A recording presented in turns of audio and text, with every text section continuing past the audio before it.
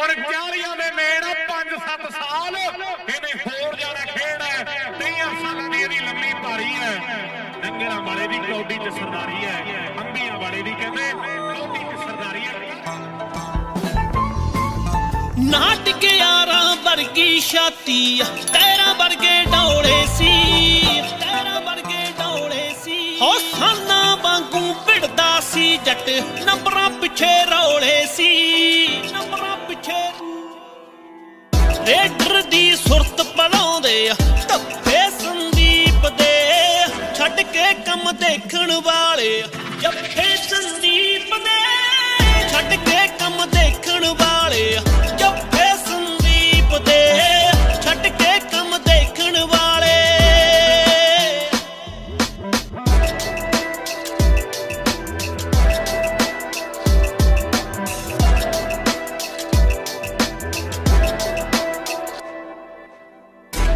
ਤੇ ਜਿਹੜਾ ਘਾਟਾ ਮਿੱਤਰਾ ਪੂਰਾ ਕਦੇ ਹੋਣਾ ਨਹੀਂ।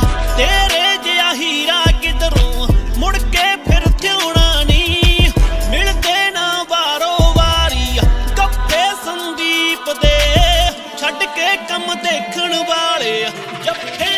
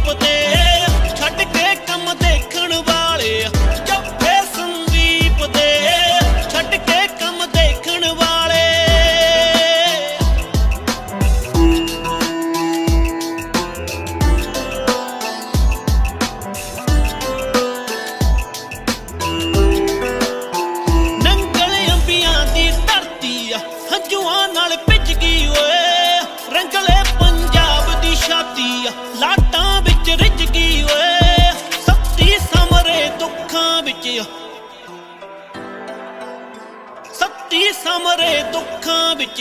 ਰੁਕਵੀ ਨੇ ਚੀਕਦੇ ਛੱਡ ਕੇ ਕੰਮ ਦੇਖਣ ਵਾਲੇ ਜੱਫੇ ਸੰਦੀਪ ਦੇ।